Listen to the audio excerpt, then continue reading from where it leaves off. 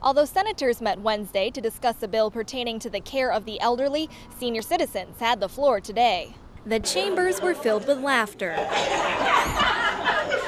as well as serious debate.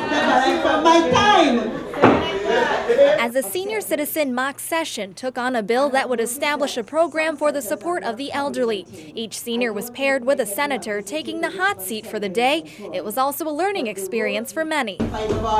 But most of the seniors had no problem impersonating their senators or speaking with passion. If it's encumbered for St. Croix, how can we spend it for this? Any money? Bye.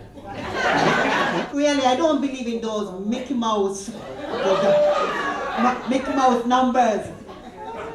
Senior care is more important.